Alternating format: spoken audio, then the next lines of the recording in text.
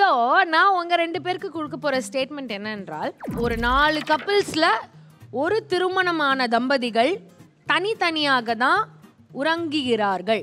அமெரிக்கால வந்து இது வந்து ஒரு நாலு கப்பல்ல வந்து பாத்தீங்கன்னா ஒரு கப்பலாச்சும் தனித்தனியா தான் தூங்கிட்டு இருக்காங்க ஒருவேளை நாலஞ்சு ரூம் இருக்குமோ அவங்க வீட்ல?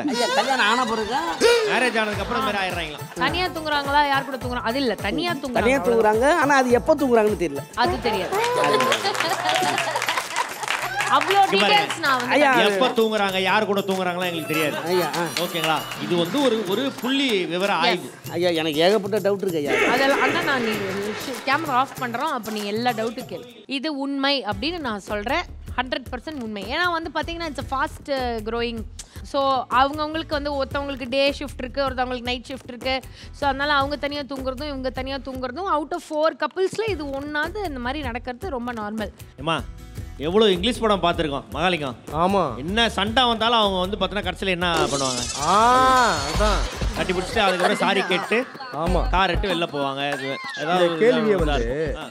நாலு கப்பல் வந்து அதாவது ஒரு வீட்ல வந்து தங்க போறாங்க. ஒரு பெரிய வீடா நாலு பேர் ஃப்ரெண்ட்ஸ் நாலு பேர் எதுக்கியா? இல்லைங்கய்யா இது ஒரு பங்களால தூங்குறாங்களா வீட்ல தூங்குறாங்களா ரோட்ல தூங்குறாங்களா இல்லைன்னு அமெரிக்கால ஆராய்ச்சி படி ரிசர்ச் படி வச்சு பார்க்கும்போது இந்த மாதிரி ஒண்ணு நடந்திருக்கான் இப்படி நடக்குதாம் நான் அது நடக்க கூடாது அது நல்லது இல்லையா? இல்லைங்கய்யா சரி சரி ஓகே. நான் என்னோட விஷயத்துக்கு வரேன். ஓகேங்களா?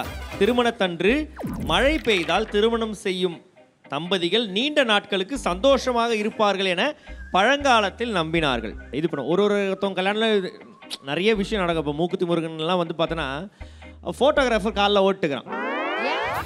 தெரியல நைட் ஏதோ பண்ணியிருக்கிறாரு ஓர உண்மையிலே மாக்காம் சார் எங்களுக்கு மழை வந்துச்சு. மழை வந்துச்சா? ஆமா ஆர்கெஸ்ட்ரா கேன்சல் ஆயிடுச்சு ப்ரோக்ராம் கரண்ட் இல்ல. ஆ. போட்டோக்காரரை ஓடிட்டான். ஃபோட்டோகிராஃபர் ஓடிட்டான். எனக்கு ஒரு அதாவது என்ன சொல்றேன்னா க- அதாவது இயற்கையா அதை நிறுத்த பார்த்துருக்கு. அப்ப வந்து இப்போ சோ இப்போ என்ன சொல்ல வரீங்க இப்போ நல்லா ஹாப்பியா இருக்கு. மழை பெஞ்சா. நல்லா ஹாப்பியா இருக்காங்க.